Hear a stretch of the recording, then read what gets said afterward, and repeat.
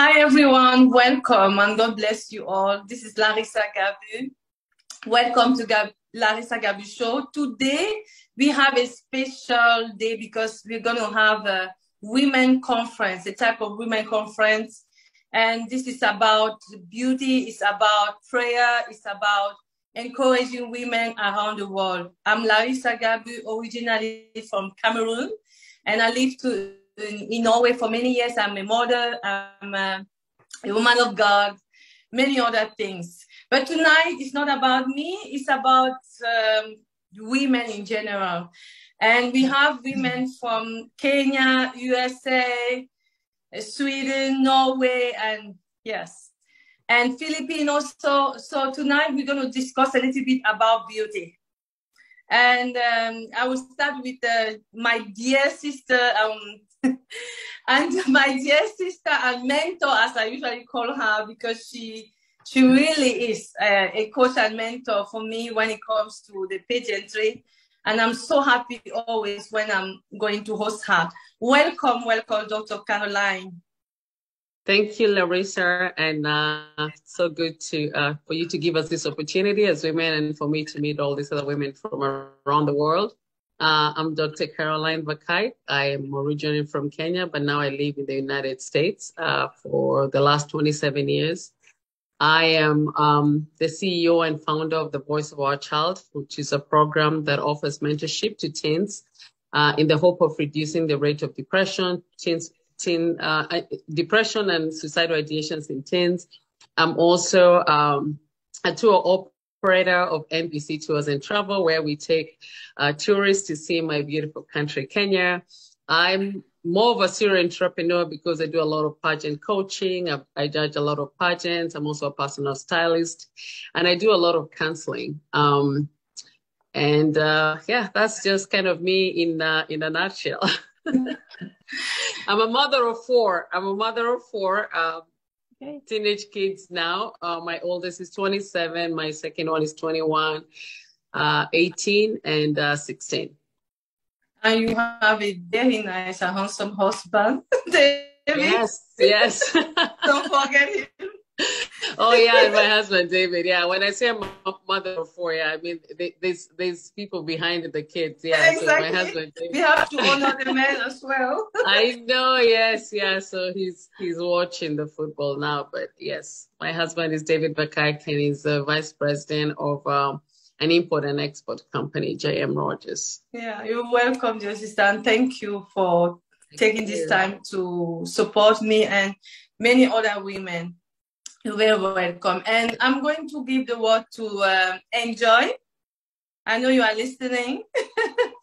You're very yes. Hi. Hello, everybody. Hey, Can you? Uh, uh, oh yeah. Am I clear or? Yeah, yeah you are clear. We are hearing you well. So it's my turn to say something. Okay. Yes, uh, I'm a Filipina, but I'm living now in Norway. A mother of two boys. Uh, I've been here. I've been living here in I think it's 17 years now. So I'm a, a bit Norwegian in a way, but my heart is still a Filipino. So yes, um, yeah, I'm. I I love God with all of my heart, and uh, I I I experience a lot of things that uh, God showed me that build up my spiritual life, and but I, I didn't uh, expect that when I came here to Norway, uh, I experienced um, mental issues and like that. And it's kind of like I went to depression and anxiety, but that's really like a blessing in disguise because after that, I realized that I'd missed a lot of what God has given me because what I see is like I always have this I'm not good enough. You know, when when I know that you know God is giving me already everything, but after that uh, process of healing, after after the depression, then I realized that the true beauty, it's really when you see your truth, on how God sees you and what God sees in, see about you, and when you start there, and when you start living in there, it, it's open everything. Like I, I I would say like life is really begin when you start seeing what's the inside of you. So when when Larisa, Larisa shared it to me about the beauty inside and out, I said, "Wow, I I really uh, need this, uh, and I want to support you because this is how it is. Like you can start seeing the beauty, you know, from the ashes that is showing around. So um, what I'm doing right now is because of the depression and health. Uh, so I'm advocating people that they don't need to, especially women, that they don't need to afraid about being not okay, and they don't need to afraid if there is something that they need to ask for, from a doctor because of depression. Like, like yeah showing accepting and who what is going on with you and going through with different feelings, I believe that would start the healing. Because uh, it's just like the Lord showed me that when you worship me in joy, it is like accepting who you are and everything that is like whether it is healing and and positive. And then when I start that, so that's I see life in me right now, and I yeah. thank I thank God for you, Larisa, for bridging this this gap. Yeah. You're welcome. And um, you know, we're going to hear more about um, your book also because uh, you wrote a book for the teen. Yeah. Um, yes, of recent, and uh, it's uh, after what you've experienced, and uh, this book is really going and very interesting. Yeah. So we're going to hear more, and thank you, dear, for coming. I'm so happy. It's yeah. very encouraging. Now I'm going to hear from Lena. Lena? Yes. From Sweden. Oh, hello. Yes, I live in Sweden and uh, everybody tells about mo- mo- their motherhood, so I have to tell about mine. I have three kids here and uh, I have uh, some in heaven too. Uh, sorry, but uh, we all maybe have some in heaven, but we have to live anyway. So I have a son that died sorry, but I have three alive children. I'm very happy for them. Uh, two boys and a girl, and some grandchildren also. So I'm very happy. Uh, yes, I live in Sweden.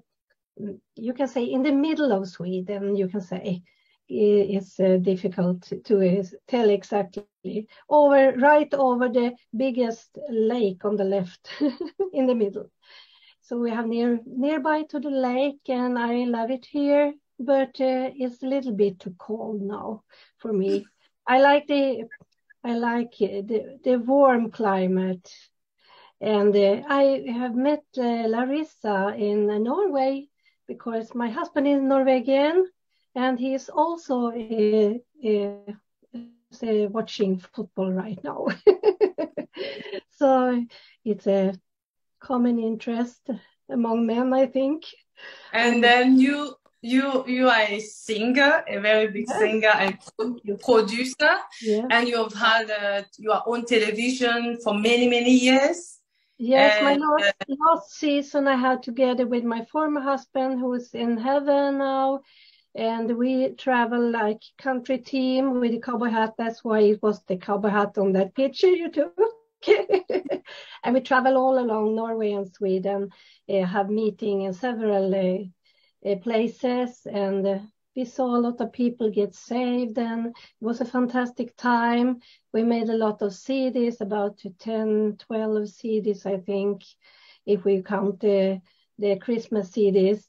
Uh, and uh, I have also made some CDs in my new season, but not together with my new husband because he don't sing. I said, I need a husband in my life, I said to God, but you don't need him to be a singer. It's okay if it's not. It will be a big problem for you, God, to find somebody anyway. Okay, I can I can sing myself. So that's what I do. I sing myself, and I had my studio here in Sweden, and I made my music on my uh, my keyboard. So and and uh, made it myself for the moment because I can. so well, yeah, to be a little bit on. Yeah. Yeah, I'm so happy that you could come you. in. Yes, thank you to having me here. Thank you, Larisa. You're welcome. And now I want to give the word to Annick.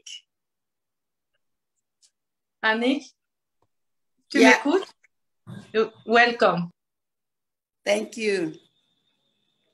Okay, so my name is Annick. Uh, I'm from Cote d'Ivoire, Ivory Coast, but I live in Cameroon for 30 years now. Yeah. Um, um, I, I don't care where I live. The most important is that uh, my father, the Lord, own the earth. So wherever I stay, I'm very comfortable because I know that I'm going to to also enjoy what this country have to offer. So I have uh, three kids, uh, two doctor and one boy. Uh, all my children are very big now, and I, I'm also a grandmother of uh, one girl of 13 years old. Yeah. So um, uh, daily, um, I'm a writer, also a pastor, and then uh, I manage a business with my husband here. Yeah, this is what I used to do. I'm very focused on uh, uh, leadership, women leadership, and also entrepreneurship. So in my free time, I work a lot with uh, uh, entrepreneurs, like helping youth to own their own business, to find a way to discover themselves. And it's the same work, work we are doing uh, concerning women, because I'm I'm sure that women have a lot of capacity, and they are the one who have to build the home, the house. So if uh, a, a woman is well equipped, then we are sure that a family is going to be a blessing family. So this is uh, why I'm very uh, interested in uh, uh, Larisa program, uh, beautiful insight, because uh, as uh, a woman, we need to be beautiful inside because we have a lot to give. We have a lot to to give to our husband, our children, our family. So if you are you, you don't have something inside, if you don't have God inside, if you don't have something to share, uh, you are not going to be helpful to the society. So actually, the society need people who have something, and I'm sure that we all are on this earth with a purpose, with a mission. So what we need to do is to to work with people and make them become better every day. Amen. I can just say amen to that. And you are Dr. Yannick, Doctor, Pastor. You have so many titles. and you're my sister friend. Love you. Thank you for coming. Um, I think we have uh, Claudia. Is Claudia now? Yes. Hello. Yes, I will present Claudia a little bit. Uh, Claudia is the next leader of uh, Beautiful Inside Out. And uh, I have so much respect and love for her because she believes in me. You know, if we don't have people who believe in what the Lord put in us, we'll be discouraged. And last year, I was uh, looking for someone, prayed, Lord, send someone to register alongside with me. And Claudia have been there since then. So together we work on Beautiful Inside Out. You're welcome, dear sister. Thank you. yes, I am so, uh, I just feel so pre- appreciate to be uh, in this um, concept, beautiful ins- inside out. Yeah. Um, I I am uh, I'm married. I have uh, two daughters and uh, two grandchildren, and um working a- as a nurse assistant. And uh, I'm also studying, and um, yes, I love Jesus. I've always done that mm, my whole life. Yeah, so um, I'm so happy to meet all these women, these beautiful, wonderful women. We have something to give each other mm, from the Lord. Yeah. Yes. Mhm.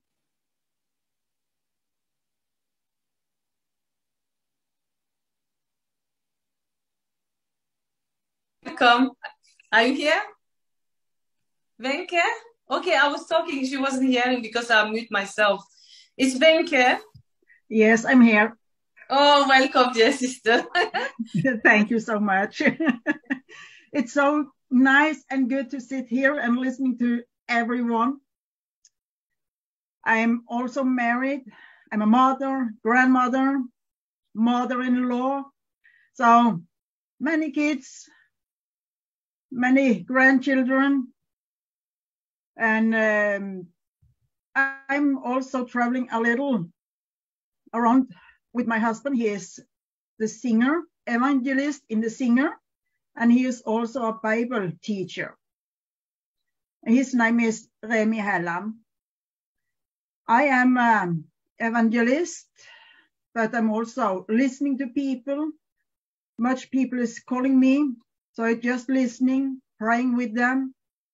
I have also have meeting all over the world from different countries. So I was telling in Norwegian in the last meeting, here in Norway, we don't use anything on our head.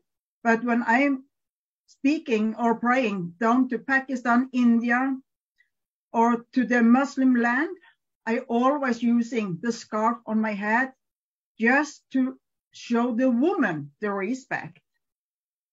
Because if we are looking back some years here in Norway, the woman also was using something on their head. I can remember my own grandmother, she was using a hat when she was going to the church. And she was almost crying to me because her youngest daughter was coming and getting every of the hat she was taking with her in the kindergarten. And she was crying to me, my daughter had taken my church hat. That was awful for her. So here in Norway, we also using something on the hat if we was going to church, the meeting, or even to praying, but not anymore. If we want to, we can do it, but it's not like we have to do. Like I was told in 1988, there was a man who was telling me, if you want to pray, you have to use something on your head. And for me, that was not the right. For me was it bad? So i was begin to asking other people in the meeting why do i have to use something on my head when i'm praying in in my home? And then there was someday a man a pastor coming to me he had speaking with a bible teacher and he was also telling them if i was feeling bad with using something on my head then it was wrong so if you feel okay to pray without, just do it without. So I don't use anything on my head, only if I'm preaching the word of the Lord to other country and especially down to the Muslims country. Yeah. Thank you for coming, and um, I'm so excited about hearing what you Lord put in your heart because today we're going to talk about beauty and prayer and uh, connected to the life of Esther. Yes. I do believe that um, what happened during the time of Esther is happening now when we look at the prophetic eyes. I'm an apostle, most prophetess singer, and I'm a mom of two boys living in Norway. And I do believe for a time as such as this, we are not here by accident and God used all the gift He have given us for us to change our life, family, and words. So I've stood and believed that God have anointed me and sent me to Norway and given me this vision. And if it wasn't you, you believing in me, I wouldn't be here seeing it happening. What I want through this is to encourage women to stand, step out with what they have I remember the story of, of Moses. God him, What do you have in your hand? Go and deliver Israel. I believe the Lord put in every one of us tonight something that one person needs, that I may need, you may need. So we're going to talk about beauty because we are having a conference in December, Beautiful Inside Out, and I've experienced a lot of critics. People don't understand why is it that we Christian women we have to talk about beauty? Why is it that I joined the pageantry? The time of Esther, the king organized a pageantry uh, competition when he said he was looking for a wife. He gave an announcement and he said, Bring me all the beautiful girls. And Esther, who was the daughter of the God Almighty, she went to this beauty competition. If it was now, if it was the king of Norway organizing a beauty pageant competition, uh, how many women Christian will go to that beauty contest? How many women think because they are Christian, they cannot go to this place or that place? I do believe that Jesus left heaven to earth. He left the kingdom of light to the kingdom of darkness to save us because he loves us. And he said, go to the world, go out. So I believe what he gave us, what we receive as love, is to do the same as he do, did, is to go outside. Like you went to the Muslim, I'm going to different milieu, and we can change the people with the light and the love we have in us. So it is what it is about. I want to encourage the women. I want to hear what other sister has so we can do something with our world of today to see something better happening. Because Esther, what she did when she became the, the queen, she stood for her country, she stood for her people. She did not change her identity. Even though she lived in the palace, I believe they, they were not worshiping the same God as her. But she never changed her personality or anything. She knew who she was. And but God, uh, uh, God knew why he made that being there. He knew already that she was there for a purpose. And I do believe every one of us, we are not here by accident. We are here for a purpose. This is my my introduction to the, the topic. And I will give the word to Dr. Caroline again to speak about beauty and uh, why is it that uh, is it important for women to to join the pageantry and to to serve God with what they have in the pageantry. And anyway, sister, you can just say the way the Lord put in your heart what you have to give to women through this. Thank you.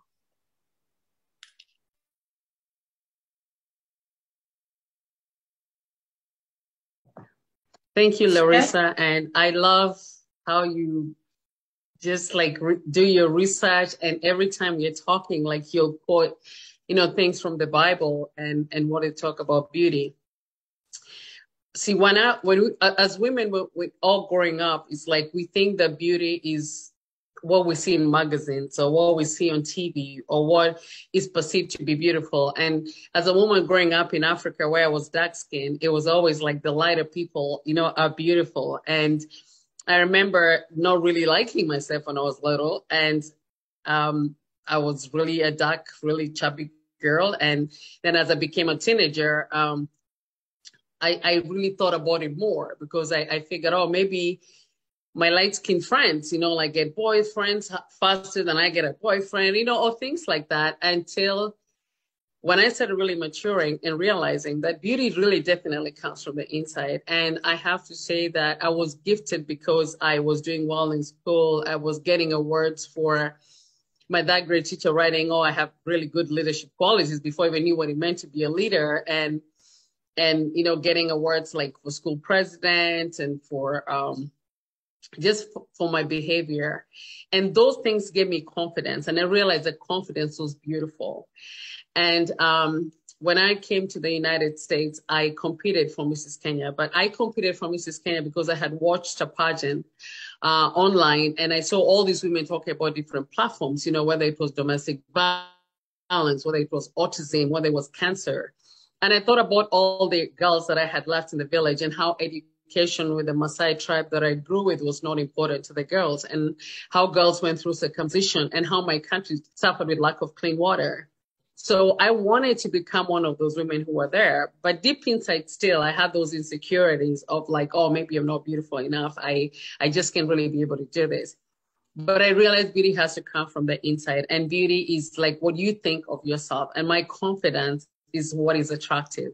So I competed as Mrs. Kenya with a platform, and out of that, I represented Kenya in uh, India, and then twice in Russia, where I I would say I did well. You know, being a third runner-up or fourth runner-up in a Mrs. World competition is a big thing, but my whole focus of doing it was because I wanted to talk about um, the you know the issues that we had back home. And from that is when i formed my tour company the nvc tours and travel where now i take tourists back to kenya and most of the proceeds go to help you know the Maasai tribe. And i've teamed up with uh, paul and avery mantel here who live where i live in Kinnelon, and they also help the Maasai tribe. And then uh, in 2019 um, my oldest daughter i found out had really struggled with depression and suicidal ideation and as a mother i was really trying so hard like to talk to people and to talk to the community. And then i remembered you know what? When i was mrs kenya i was invited to speak at a lot of places. So i competed as mrs pennsylvania because i was living in, in pennsylvania then. And i won the title of mrs pennsylvania. And it took me three times to win it. So that that time was the time that i won and again, I still had that insecurity in me. It was like, I know everyone was like, why would you want to compete when you're older? You're like in your 40s. Why are you even thinking of competing? And people had a misconception of what the pageant really was. But I knew that the pageant is composed of women. It's the same way people run for any government office. They want to be a voice for something. And I wanted to be a voice for mental health. And so the year that I won, I went around like to so many different countries talking about mental health, removing the stigma of mental illness. Found out later that my husband too had struggled with depression. And I started the organization, The Voice of Our Child. And out of that, out of working in the pageant and out of working, after I competed for Mrs. Kenya, I worked as a contestant coordinator. I worked as one of the chief negotiators where I traveled the world, you know, like soliciting for sites, you know, for the pageant. And I realized that all these women who come to a pageant are women who have a story to tell. And, and they're women who are extraordinary because they wanted to use that which was so much in their heart to get on that stage. But a lot of people didn't understand why they competed, where a woman would come and compete in a pageant, but she doesn't even tell her family that she's competing. She doesn't even tell her friends that she's competing. And I've had women actually win and start calling their families and saying, Oh, I won. And they're like, One, one, where are you? And it was a shame in it because people have this concept that, oh, women who compete in a pageant, you think you're beautiful, you think you're a beauty queen, you're showing your nakedness. You're not showing your nakedness. When even they do the, the swimsuit segment, it's just that confidence that you have. We all go to the beach, we wear a swimsuit anyway. But I started a podcast that was called uh, Beauty Pageant Take Two because I realized all these women who come and compete in the pageant, when the winner is called, nobody gets to hear the story of these other women because you don't get to see the interview with the judges, which carries 50 points. And that's where the ladies tell the judges why they're competing. And their stories are captivating. Like I said, they're women who will have gone through something really, there was such a struggle in their life, or their children are struggling, that they will choose to be a spokesperson for, for that. And through my podcast, I was able to interview so many different women who told me stories that would give me chills, who told me stories. It was like, I'm so glad you're telling your story because we all know as women, if we don't tell our story, other people will tell it, and it becomes such a distorted version of who we are. And you'll always have people who will not just be saying good things. It's sometimes always a negative, especially if you're so confident and you walk into a room and you're smiling and you love people. My gift is hospitality. I love people. I'm a confident woman. I'm always out there, you know, doing things. So I might walk into a room and some women might feel intimidated by me. But they'll not look at it as confidence. They'll think you're boastful. They think you think you're so beautiful. You're all that. But they don't know who we are. And I love this saying that a dog barks when it doesn't know the person. But police dogs don't bark because they're fierce. So so uh, I, I I don't even know like where, where where it ended, but but what I was just saying is that I I have a lot of respect for every woman, and I believe that women can run a country, and especially women who put themselves out there to compete in pageants. And I think that people just need to understand what pageants really are.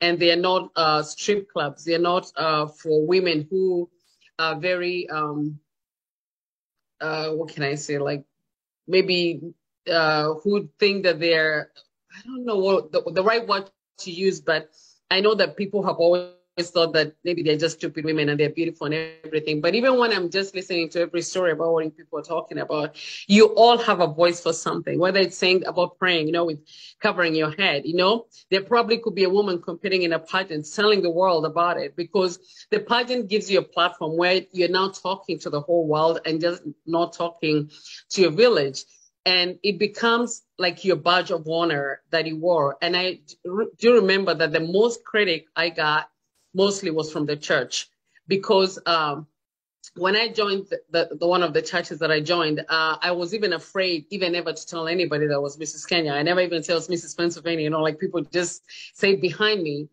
and then it's almost I sh- it's almost like I panicked because I'm just thinking to myself like, my goodness, I've been coming to this church. I, I started a soup kitchen. I'm helping me there. I'm in the women Bible study group and everything. And somebody here will not understand who I really am. And it, it, it becomes such a shame that you could be this person just, but just because somebody says, oh, you know, she was Mrs. Kenya. Now they start looking at you differently. Like you're full, full of yourself. You're a beauty queen and everything. And I remember people would make some kind of remarks like if we were going on a mission trip, they'd be like, oh, are you going to come in your high heels? Of course I have common sense. I'm not going to come in my high heels, but but that just tells me you're very insecure now with me. Like all of a sudden now I'm a very different person. But then again, I think God just teaches me that our ignorance will make us say things that are very hurtful to people just because we don't know. Just like maybe the lady who was talking about maybe praying and covering her head, if she uh, if another woman told somebody that, they would think, oh, she's so primitive and stupid. She thinks women still have to cover their head. But no, it, it just needs an education. People just need an education in everything. And you could be the most learned person, but there are things that you don't understand. And I think that that's the same thing with pageant. People really don't understand it. So when I met someone like Larisa and and I saw the work that she was doing with you know women of God and, and preaching and all that, I said, Larisa, like I think that you should compete in a pageant. And she was like, why? Like, what, what, why do about it? Is it acceptable? I said, anything is acceptable, you know? It's it's acceptable to even wear like expensive perfume. There's this woman who washed Jesus' feet with the perfume. Jesus didn't say, "Oh, I can't talk to her. She's a prostitute and she she has this expensive perfume." You know, there's always something. It's beautiful about a woman. And I said, you can use that and you can show the women that they could be Christians and still go out there and talk about wonderful things and be a spokesperson for something. And that's how I feel that I did. And I showed people how when I competed for Mrs. Kenya, I started that business of, of travel. When I competed as Mrs. Pennsylvania, I started the business of um, the voice of, or rather the organization of the voice of our child, where my main goal is to talk to other parents who missed on all the signs that I missed with my daughter because I thought she was lazy. I just thought she had an attitude. And my poor child the whole time was struggling. And there's so many mothers there.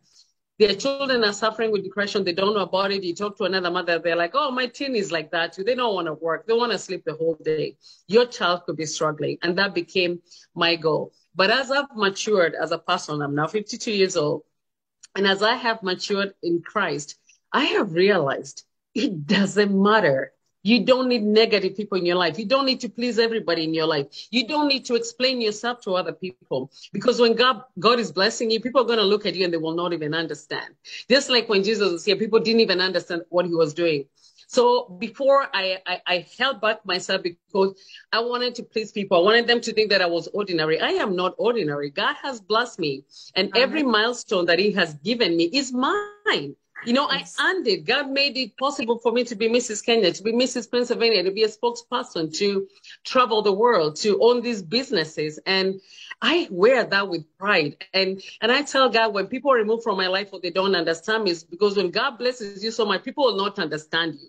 No. They will look at you and, and tell stories behind you because they cannot understand. Because when God puts his hand on you and says, You're my child and I have picked you to do this, people yeah. will talk about you and go like, I don't even know. She's crazy. I think she's like this and like that because they don't understand. But it is our, our obligation to tell them the story and who's behind all the success that we have. Amen. And I'm standing here today just like all of you because God has picked us, has chosen us and, and, and, and brought Larisa into our lives to give us this platform to talk. And when we talk, people will listen. It's not because you're more privileged than anybody else. It's because mm-hmm. God chooses you, He chooses somebody who cannot talk. I love this story about uh, um, give me faith like David, like Moses. God chose people who nobody ever thought about. So when God picked us, people look at you and go like, why you? Because God picked me. So I'm just so Amen. happy that you're all here. And I think that you're all very special and you have a story to tell. Amen. Yes. You know, I could listen to the whole day. It's so rich. And uh, thank you so much for accepting that calling because it's not everybody who knows what God wants them to do and take the sacrifice. Even to walk on a hill, it's a sacrifice. You don't just walk in the take a high hill and walk. It's painful sometimes. And I remember lately I was trying and I was falling with high, very high heel. And I was like, I'm doing this so that I will leave a legacy. So that I encourage mother who've been single, mother who have been in other country all alone and thinking, okay, it's because I don't have this and that. When God give us something and only Jesus we need. When you have God and your faith, you have everything. Thank you so much. And even accepting that is, is an action of love because even Jesus could say, no, I don't want to go to hell. When you accept this, you are who you are today because you accepted and because you love people and you can share with us because you love us. And I thank you so much, dear sister, for sharing. And um, I want to mention about the trip in Kenya because when I'm going to edit this video, I'm going to also post about the trip in Kenya and my conference here. Where, as you said, would you like to say something a little bit about that trip? Because I would really love to go there and probably encourage many to join. Oh, thank you. Yeah, thank you, Larisa. So we do safaris to Kenya, but every year we have like one that we call a mission trip or a humanitarian trip. And this is where we gather like-minded people. We also bring some teams that are sponsored by organizations or even individuals to Kenya because I realize like when teens are taken out of their current environment and put in another environment by helping others, they help themselves. And so we um, we organize this trip. Of course, we go see the beauty of the country. Kenya is one of the most beautiful countries to visit. If you want to see the wildlife in there, it's natural habitat. It's like every time, even though I grew up there, that I go with a group of people, it's almost like I'm seeing these animals for the first time. We also visit the villages where we uh, give like the school supplies, you know, to the girls who we have helped with the education. And again, with the Maasai Girls Fund, uh, and you can look them up that I have teamed up with we get to uh, to to visit these girls even in the schools that they go to, and there's an installment. You can pay in installments little by little until the time is is ready for uh, us to go. We are leaving on June the 23rd, and we normally go for 10 days or 14 days. There are people who leave just after 10 days. There are those who extend the time there. It's such a wonderful time, not just to uh, visit these kids, but just to see the wildlife, you know, see something different. And Larisa, when you said about a calling, I don't think that when God calls you, you could say no. You saw what happened to Jonah and he was swallowed by a whale. It's not easy what I have done. Like there are times I would get so tired and, and, and the critics from the people. And I was like, God, I just can't do this anymore. I can't be able to just, you know, go and keep helping these kids that I'm helping. I don't get sponsorship from people and I'm doing it. And even from family, they'd be like, you have to stop this. It's not of any profit.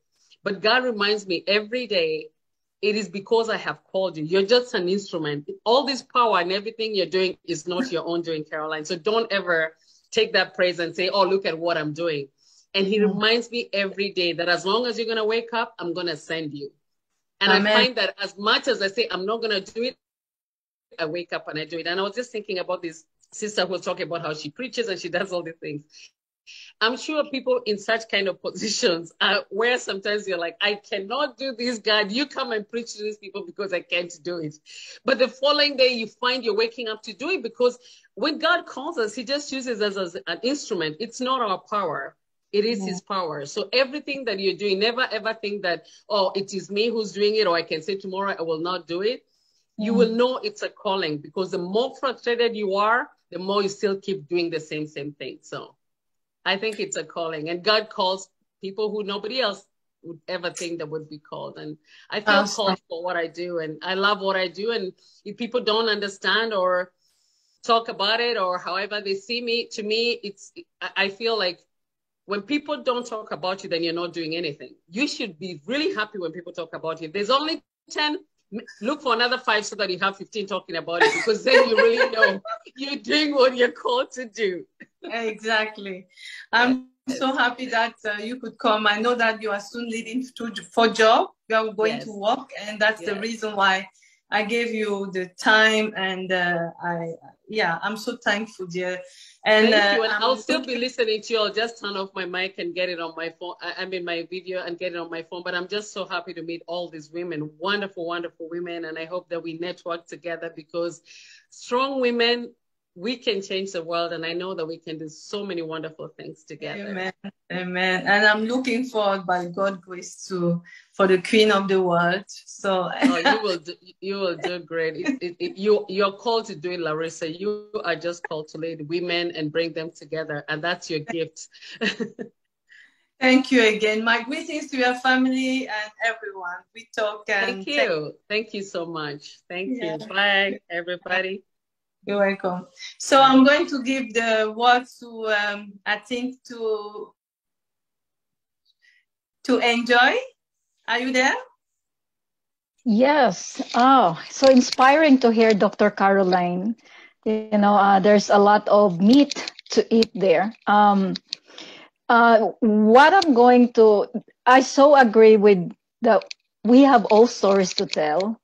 You know, when I start, when the doctor told me that you have, uh, you are in state of depression, I remembered so well, and I said, "Oh no!" I was like, my name is Enjoy, and I'm preaching the word of God in the Philippines. I'm praying, and you know, uh, God used used to heal people, and I'm leading people to to to receive Jesus Christ. And here, the doctor told me I I uh, I have a depression. No way, so no way, and it's a shame. But uh, yeah, it took me like five years before I accepted it because of the shame that I am a Christian. I have this because what would people think about me? You know, where's my faith? so I, I I said yes, I need help. I needed help. I told to my doctor because I see my life. It's I feel like I don't have life anymore. Yes, I have faith, but even just to pray, I don't have the energy. And when I started accepting my situation, not not is accepting that this is what I what I am, but accepting that I needed help, then the healing started to come. It took years. I I I said to the Lord, Lord, I don't have a ministry right now because in the Philippines, been left and right ministries, and then I I do something that I feel like it's not pleasing to God. But then the Lord told me, enjoy, I love you. And I said, because God, in spite of what I am, I was doing, the I, the goodness of the Lord, I see good and good. I said, Lord, you know, I don't know about you, women. If you know that you are not doing the right thing, and then the Lord or someone shows you good things, you, it's irritable, right? So I asked the Lord, Lord, why? Why you keep doing this? And the Lord said, I love you. I said, okay, so what do you want me to do? And he said again, I love you, period. And that was the time. It's blown up. It's like a revolution- revolutionary for me to see another perspective of God's love for me and for the people. And that depression and anxiety, when I said earlier that it's it's kind of um blessing in disguise because it took me my old life to have the life i would say the new life and the life that actually has god for me but i, I was so afraid you know like dr caroline that those women who compete in the pageant pageantry they have all the stories and they want that platform to use to voice out their what you know the stories behind. So i today this is now my my message to the people. As i said get out from actually last night i was invited to to share an inspirational talk for over 100 people. And this i will i will share it with you. The four things i shared with them is like this is how i also use for myself. This is my four ingredients in life. First is you have to get out step out from the box that you are hiding. Because if you you don't want and you don't want you are not willing to to get out you will miss what life could you know show to you. Because it's it's greater things. And you know that you know as a children of god god deposited us potential capacity to do something great greater than what you are doing right now. And then i told them number number two i know that it sounds scary but it's time to face the fear. That's why beauty inside and out it's like get out and face the fear. Because you know before i thought that fear is our enemy but now fear is our for me it's my best friend because it pushes me to my limit and discover me what god actually has put inside of me. So and then the third one because while we are walking in the unknown thing like faith you know like we don't know but we have faith it's a scary. And then there's always oppositions challenge and critics and everything. And then choose your battle. You don't have to fight those things. You don't have to fight every single fight you see. Because you know in order for for us to walk with ease and grace and harmony and the peace that is inside of us we have to choose our battle and then number four i told them number four if you don't have this it's hard for us to have this number one number two number three it's love yourself and there you go. They said, oh, so love yourself. It's not a self a selfish act. Actually, it is a self-care because what I believe, when you start loving yourself and when you start accepting your imperfection, like when you feel the negative side, you embrace it. Because that's part of how God created us. You also worship the creator. You know you worship you also worship the creator when you really love. Because when i think before i worship god with all of my heart. I love god. I love jesus christ so much. But when i see myself i'm beating up and telling myself you're not good enough. I'm hiding with something and when god showed it to me it was like for me it's a hypocrisy that i didn't know that that it was i was doing that because I would say, I love you, Lord. I worship you, but I cannot love myself. And me is God's creation. So then when God showed me that, I started to love myself. And, and, and, and also, when you start loving yourself, that's the only thing you can genuinely give out love and cares to others. And also the, the important thing, because what, what, what, what I was did before is I giving out everything. Like my my my tongue or my heart my cup inside was empty because i'm giving out because love your you know love others serve others and like that. And then i get burned out and i'm trying so hard. But then the lord taught me that enjoy with you when you start cup loving yourself and pouring in the love for yourself from the love of god and knowing who you are and standing with your truth, your cup will start to pouring in, you know, until it overflows. And then that overflowing, that's the only thing you can give out to your to your children, wow. to your loved ones, to your friends, wow. and do not touch inside.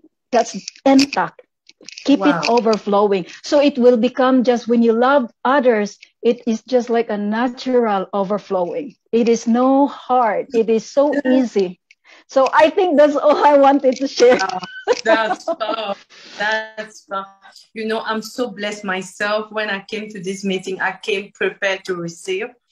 And what you just said is blowing minded it's a revelation. And it's like loving yourself first and then the overflowing will automatically be easy to love others. Yeah. By His grace, thank you so much. That was really powerful. Everything you share. Thank you. Thank you for having me here. Yeah, I'm looking forward for the conference because you are coming. Yes, and, and with my book, I'm also bringing my book to sell. It is very, yes. very uh, good tool for for the mother, for the teens, for for for everyone and it's a good when I'm going to, so I'm going to put the picture of your book again when I will edit this video. Yeah, so Thank I will uh, I'm going to put it. Yeah, you're coming with the books, and uh, I'm going to get some for my kids. I think this is something we have to talk to most teen and may adult also, as we we, we mentioned before. Yes. But thank you so much you. for sharing. And uh, yes, now we're going to listen to Dr. Anik. Anik, are you, are you there? Yeah. Yeah. Thank you. Thank you for all those sharing. Uh, it's very interesting.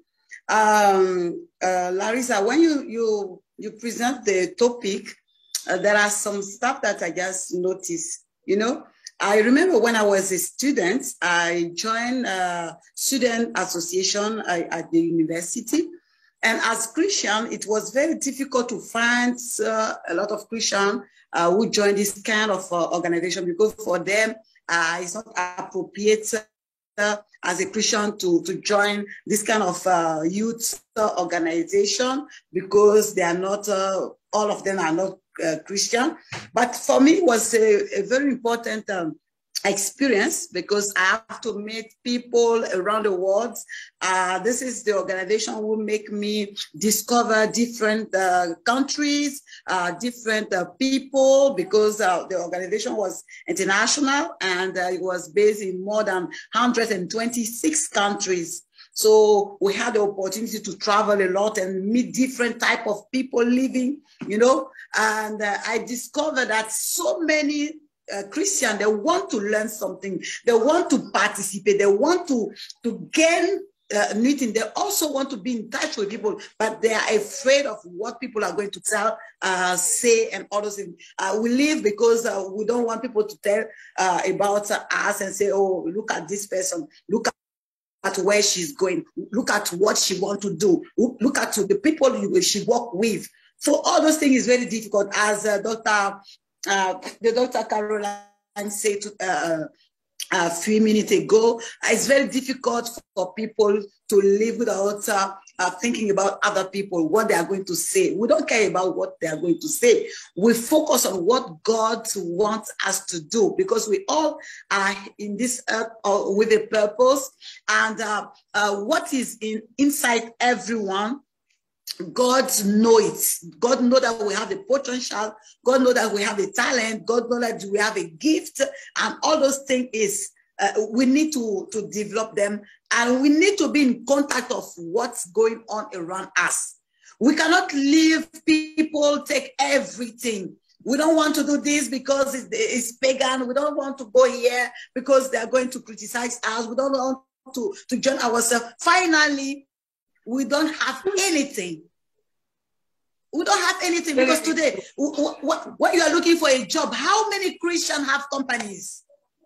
So you say that we, we are not allowed to join all those uh, beautiful uh, uh, competition. Uh, we don't have to join this and that, but we work for pagan. Because these are the pagan who have the companies, most of them. How many Christian, how many Christians have all those things that we need?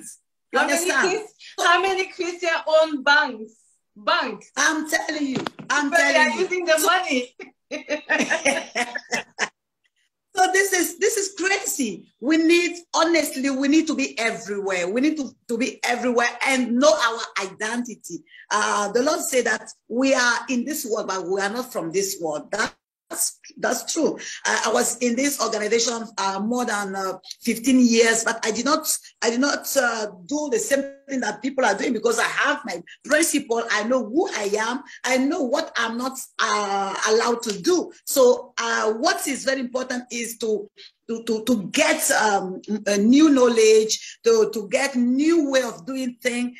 And today, all the things that I learned is going to help people. What I learned from this uh, pagan environment is going to help uh, uh, our sisters in the church, our brother and sister, parent, everyone in the church. Because when God wants to use you, He wants to use you uh, based on the experience that you have in your life.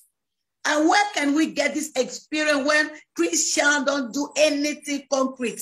We cannot just leave, go to church and come back home, and then we don't have relation, we don't have connection, we don't have uh, uh, uh, like a, a competency, we don't have anything. We want to learn how the work is working. We need to join ourselves in all those things around. We need even to take the lead because if we, we, we lead all those organizations, then we know what to tell people. We know how to take decision. We know how to change the thing because we are a change agent. God said that we are a light, and a light you need to be where we don't have. We can see light. Eh, if you are a light and you cannot be where people are so that you can you can bring these lights and and make people understand that we can do this by in the way of god because when you look at everything around ourselves i'm not sure that the world creates something because god created everything Amen. Eh, when we talk about you talk about esther but what esther did this is what we do today and then we, we attributed this uh, uh, uh, beautiful competition to the world, to the pagan, but we saw it in the Bible. And this is really important. As a child of God, we need to take care of ourselves. You know, um, I remember that when uh, you, you talk about God, you want to evangelize someone. She said, I don't want to go in, in your church because the way you dress, the way you do your hair, the way you look, the appearance is very terrible, you know, because for them, a Christian, she she have to wear like uh, a, dress who is not aligned, who is not styled. You, you do you need to do hair the way uh, like old woman and all those things. This is the picture that the world have concerning Christian, concerning Christianity. But when I go through my Bible, they say that God is very, uh, is a majesty, majestic person, is beautiful, God, uh, money, everything come from him. So why should we look different when we serve a God who, who is very uh, um, um uh, marvelous? So amen, we need to amen, think amen. again we need to rethink again. We need to make sure that, okay, so if we want to impact the world, people have to see in us uh, the beauty, the beauty of our kingdom. Our mm. kingdom is made of someone who is beautiful, is full of love, is uh, yes. uh, characterized by beautiful things. So this is what we can give to people. Uh, we, we, want to uh, we want to bring more people in the in the house of God. Uh, they want to see us. Exactly. First of all, what are you doing? How do you look? The way you look, the way you you appear.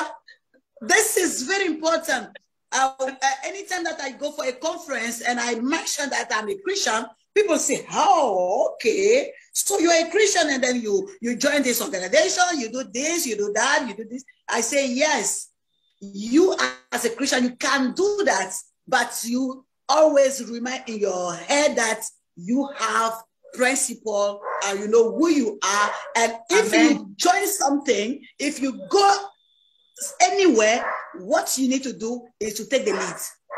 You take the lead and you keep you give the direction. I, I, joined different associations and I was the, the national president. And they say, "Ha, uh, you want to, to take some decision?" I said, "Yeah, that's that's the price. If you, if I I run to be a president, it's because I want to, to see the change. So I cannot be yeah, a president exactly. and I don't have power. So if I want to run for a position, I want to take the lead so that I will change the thing and I know how things can go, you know. Amen. And I remember I, I, have this opportunity to, to impact a lot, a lot of life because anytime that I join a project or an activity, I used to tell them that my God is a king, he never fails. So any project that I, I join, I'm going to succeed, you know. So all, all my team members, they just keep it in their head.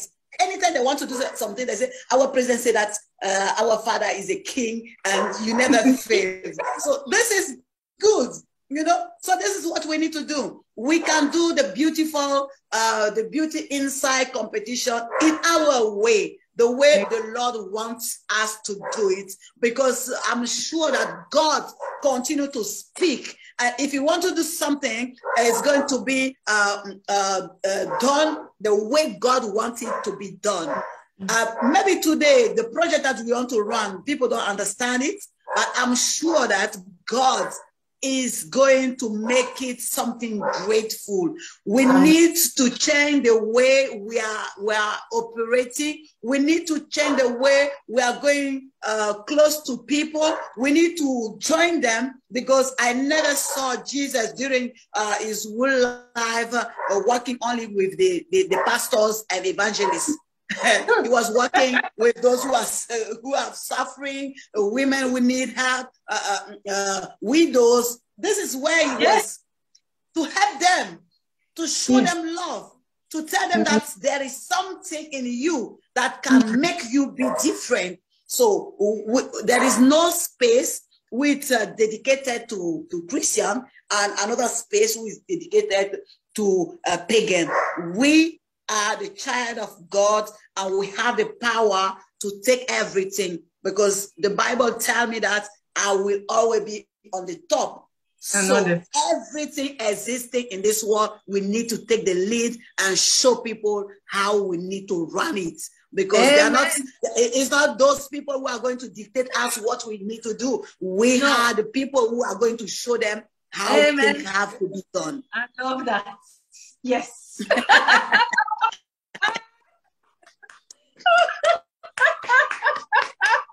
we are going to, we are going to, countries. Hallelujah. I love that. That was so powerful. Annick, I know you from before. I, when you preach, I stand up always. I say, I shout, yes, hallelujah, in my house. And I'm like, wow, when you are coming to Norway, I'm going to give you the opportunity to preach to women. I hope that's happening soon next year this was powerful. Uh, it's just like no comment. Thank you so much. And uh, yeah, you're welcome. You know, I know something. Uh, I used to say uh, I'm not English person. You know, uh, I'm coming from a country where we speak French, and I tell myself that any language belongs to God. So we are going to try. Uh, my English is not going to be fluent. It's not going to be correct, but I'm sure that what God wants to tell me to tell to people is going to give me the word. So I hope you you understand my English, even if it's not uh, uh, the perfect one. But I I, I make myself uh, uh the way people can understand, and I'm very happy uh, to, to to to to participate because I don't want to be uh, in the back because of the language. God will help me with that. Hmm. Merci beaucoup. Merci. Merci d'être venu au moins à des cantos. Yeah. Yes, Lena, you're welcome. Thank you. yes, I've been listening to the wonderful uh, people in this uh, meeting, and I really agree. And it's very important that we really get the inside to come forth because it's that is our uh, personality. It's uh, from the inside uh, my natural language is not all, not English either, so it's not so very fast speaking. But I have been reading a lot uh, last time about Esther, and it's very interesting. It's many things that I think is interesting to lift forth here, um, because she, like uh, a lot of people, that they don't uh, show that they are Christians in their workplace, but it's very important that we come forth and show who we are. And she was a hidden Hebrew. She didn't want to tell anybody about her um, belief. She had been raised by Mordecai. It was her stepfather. And of course, he taught her about God and the Hebrew ways to live. But we, both, we all know here that they didn't live that way. She lived a pagan way in that castle. But suddenly came a very, very difficult time for the people of God, and she had to step forth. So this was a, a true um, uh, what uh, challenge for her because this was not what she had uh, thought that she should do. She was supposed to be just that beautiful queen for that king, and she had made a success. She won the competition and she came into the king. He wanted her to be the queen. So, you know, she had the position. So why should she try to uh, lose it in that way because this was a temptation for her to uh, say no. But as Mordecai said to her, if you say no to this uh, uh, task that you are going to have, you will die because all the Jews will get killed. So she had to choose the way, and she did.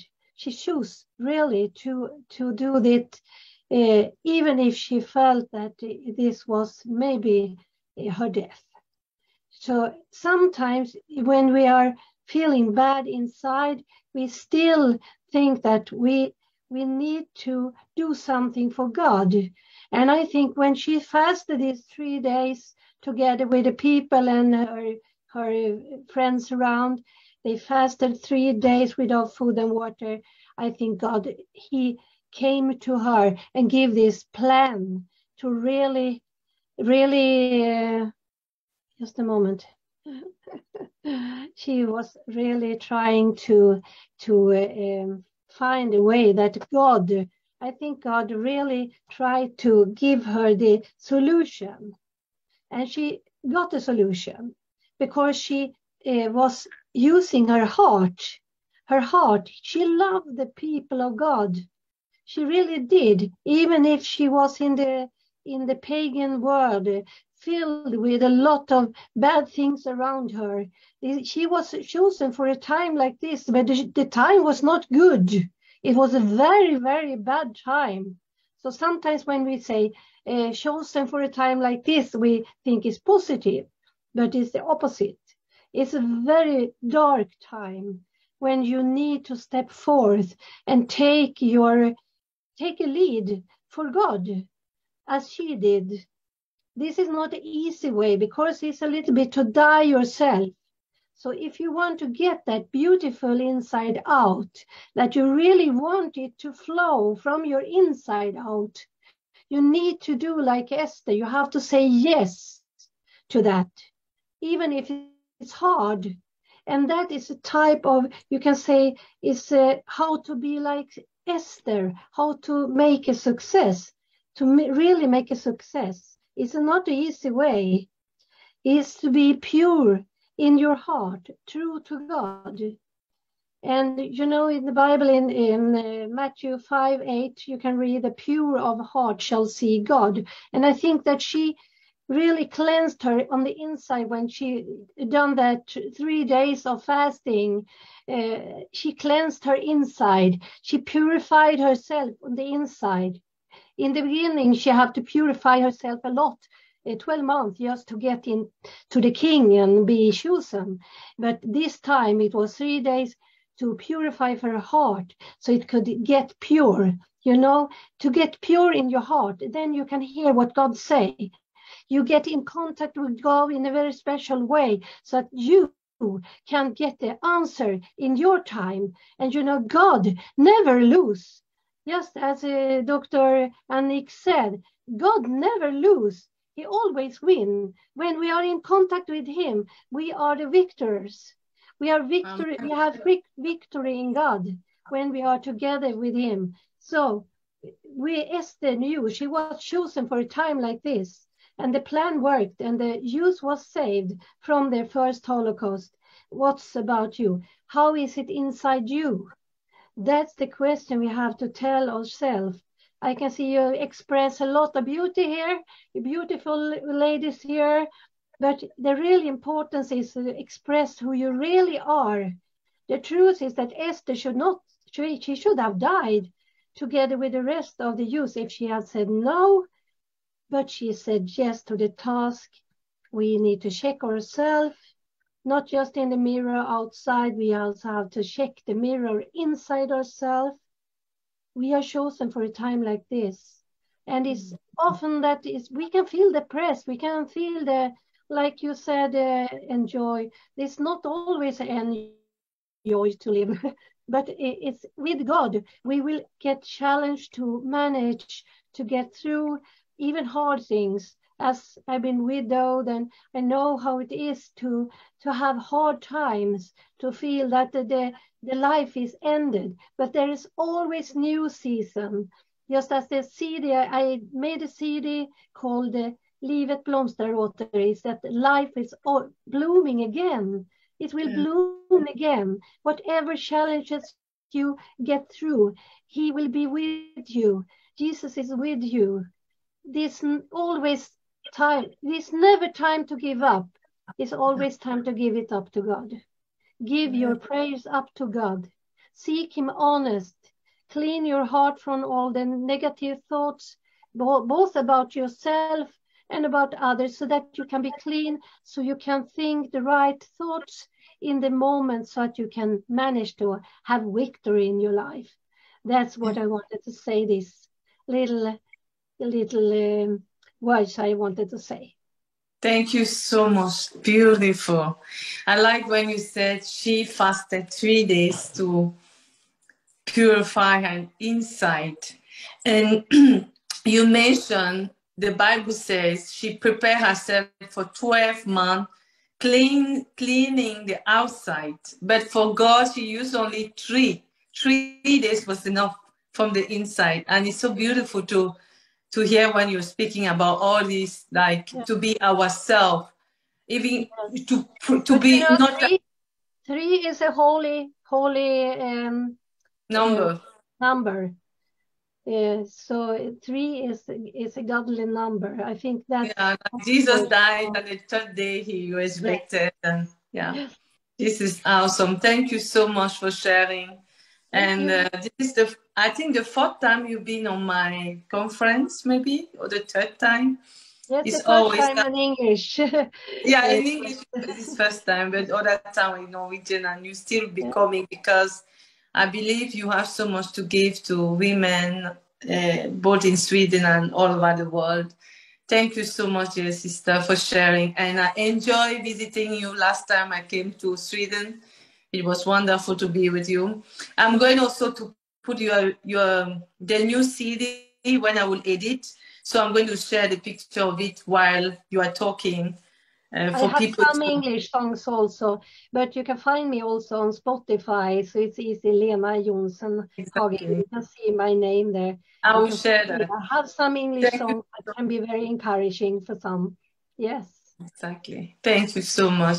We are going to listen to Wenke, as we say. Hi, Wenke. Hello, hello.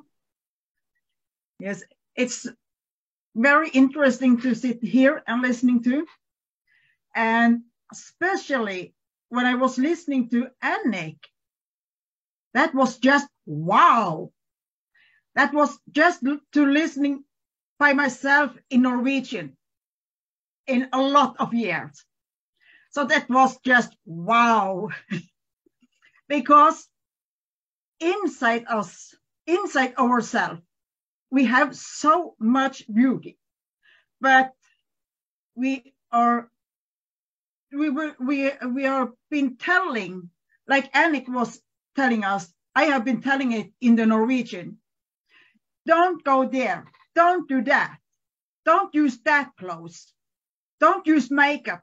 Don't use the glory. Nothing. Cut your hair.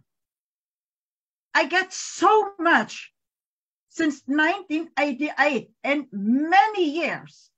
And then the Lord was using me in meeting from meeting to meeting. And then one day, my uh, first husband was telling me, when you are coming to the meeting, you have to close your mouth. You can't speak. If you get something, you have to come home and ask me. Okay. But when I'm sitting in the meeting and the Lord is telling me something from the Bible or something else he wants to get out to the people, when I'm coming home to you and tell it to you, will you stand up on the meeting next day and tell it? No, no, no. Then you have to shut up and let me speak. So that's the first time I was speaking against my first husband and taking the authority the Lord had given me. Because he had te- the Lord had teaching me from 1988 through many years. And then I, I think this was in 2011, 12, he was speaking like that to me. When I just take, get the word back to him. Because then I was begin to understand what the Lord really have given to me.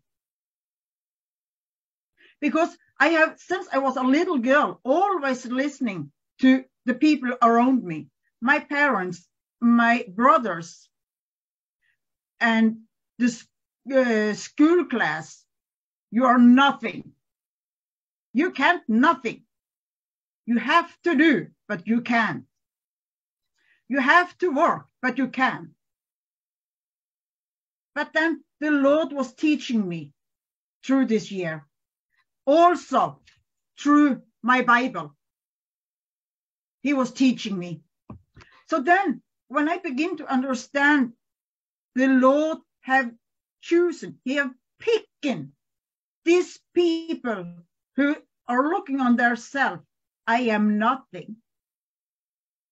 Because the Lord want to show the people who want to be big. I can use what is nothing. When the Lord was making the people, he using the dust of the earth Yeah. to make the people. Yeah. And when we are leaving this earth, we are going back to dust. Mm. Our body is going to, to be a dust, but our soul is going to heaven. And there is a man, he don't live anymore. He was telling here in Norway that the Christian, you can't only have it inside yourself. You have to show Jesus on your face. Not only inside, but take Jesus outside and put it on your face. So there was a woman in 2013. She was asking me on a meeting. After the meeting was finished, we were sitting with a cup of coffee and something to eat. And then she was asking me, how can you, Wenche, be shining like a glory with all the bad thing you have been through in your life?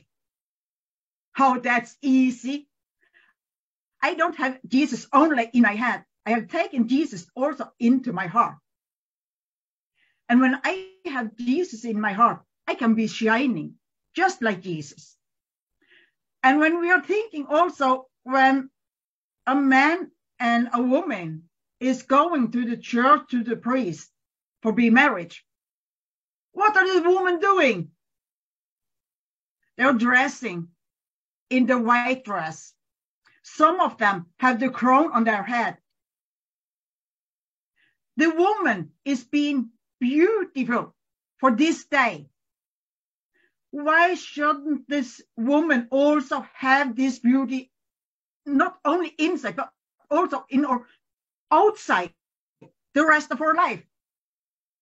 Not only one day, but the rest of your life. Exactly. Yes, the woman is so beauty, and there is so much power in the woman. The man could be so jealous on us, all all of the women, because the woman is doing so many things. But the man have been reading some verses in the Bible and taking it out from the Bible and using it like this finger. Don't do, don't do. You have to do everything I'm telling you. You can't take any decisions by yourself. Only listen to me. But that's not the Lord, what the Lord was telling us in the Bible. The Lord is telling us in the Bible, He is using the woman. Who was the first one who was came to the grave when Jesus was arrested? A woman. He have been using the woman in so many times in the Bible. If you're beginning to look for the woman in the Bible, then we can see the Lord is using the woman more than he have been using the man. So when I am been looking back for the what he have been here in Norway, Mm-hmm. The man have been using the Bible on the wrong side just to take the woman down to the dirt, to, into the dirt. And I know when I'm coming to to um, Storstua, the Lord have telling me what dress I have to use when I have to tell something. And I was telling my husband now someday at that I feeling so beauty. The Lord has showing me something I didn't know I have. When I was a kid, I want to take my life twice time, two times. When I was 10 years and also when I was 12. But the Lord was speaking to me. You can't do it because there are some people who need you. Amen. So when I also was getting this dress at my home and I take it on me, it was just wow. No, I am just like what the Lord want me to be. he, he showed me you're not a nothing. And the woman is not a nothing. The mm. woman is everything in the Lord. We are everything because the Lord have given us the same power he was using to take Jesus up from the dead. That power have the Lord give to every one of us women who want to be his bride and his going out teaching the world. I have been telling that Jesus didn't tell me to sit inside. In mm-hmm. the Bible, he said, go out. So I don't want to be sitting inside. No. So sometimes when I'm going out, even if it's the winter, I have been going in the dresses like it's summer. And people are looking after me. She must be crazy. It's not summer, it's winter, it's snow, it's cold. But I can be going just like it's the summer. Mm. So that's the way to show the people how beautiful we are in Christ. When we mm. know what we have inside, let it come on your outside also. Not Amen. hide it. We can't be hiding it. No. I usually said Jesus did everything in the public. Yes. He preached in the public, his ministry was in the public. Not, when we mean public, he wasn't in a church. He was outside every morning. He wake up, he go out, goes out, and he died in the public. He resurrected in the public. He went back to heaven in the public. He even was born in the in a place outside, not even in a hotel or in a hospital. So he's for the world, the king of the world. And exactly. this what we said is powerful. And the resurrection power cannot be buried again. We have been ignited and we have died with Jesus. We have been resurrected with him is to shine. There's no way they can put us back there. We have already resurrected with him. We can't take him back on the grave. So no matter how we try, no matter what the enemy or whatever the enemy use, when we know who we are in Christ and we know what he did on the cross and where he's sitting now, because he's not on the cross again, he's not in the grave again, he's shining in his glory, and we have to reflect him. There are people, when I was a Christian, I used to say, what, Jesus, which Jesus are you serving? the one in the cross, the one in the grave. My own is in the heaven, and his splendor and his goal everywhere, and he wants me to shine. For instance, if the daughter of a president is visiting the, this, Norway, we expect the daughter of the president to come beautiful, smelling good, having car in a beautiful car with bodyguard, isn't it? And imagine that the, the daughter of a president comes like someone is, uh, we would doubt if she's really the daughter of the president. So we should reflect our Heavenly Father, as Yannick was saying, and as Dr. Caroline was saying, we should, it's a calling. He created us as women. He chose this is, you'll be a woman, you'll be a man. is to glorify Him. He wants every day to see that we should reflect Him. It's not about outside beauty, but from inside out. This is powerful. Exactly. Yes, I just wanted to hear about what you said. Thank you, dear sister. And I'm looking forward to see you in the conference and the beautiful yes. dress you are saying. Uh, and to hear what you want to share with us during the conference. It's going to be exciting. Thank you so much. Yeah. Yeah. Now we're going to listen to Claudia. Hello, yes. Claudia. I know you are very tired. You've traveled the whole day. Yeah. yeah. Mm, it it has been very interesting to to listen to to all the women Oh, it's so uh, wonderful. It's it's a reflection of uh, God's glory, I think. that He is so precious in everyone. Uh, I think that that I uh, got a message. Um, yeah, I will read it. Come before me. You are called in this time. Be courage. Do not be afraid. I will guide you. Uh, I have called someone in high positions in politics. Do not be afraid. I will lay my words in your mouth. The land is open for you. You are precious. I have given you my glory. Uh, live and shine. This is your day. I will. Uh, I will guide you. I love you, my child. Go and give what I have given you. You are blessed, and I prosper you. In the name of Jesus. Amen. Amen. Amen. Amen. Amen. Amen. That was a powerful prophecy. And uh, Claudia, she's studying, she's taking, um, it's the second year of, you are writing a master in diacony. Yes, that's yeah. yeah. And she writes po- poem and prophecy. Um, I'm looking forward to read your book, your first book, very soon. I will keep on encouraging you. Thank, you for the prophecy you gave. Um, please, if you can uh, send us the prophecy, so I will send to the women after, because mm. I believe that uh, this will be encouraging for many we should shine and go out with what He gave us. Amen. Mm. So I would like to pray um, to conclude. I thank you, all of you, my big sisters and friends and loving sisters. We have other women who could not come. Sarah Grace was sick. She's a television host producer and pastor living in USA. And uh, Nikki is a psychologist.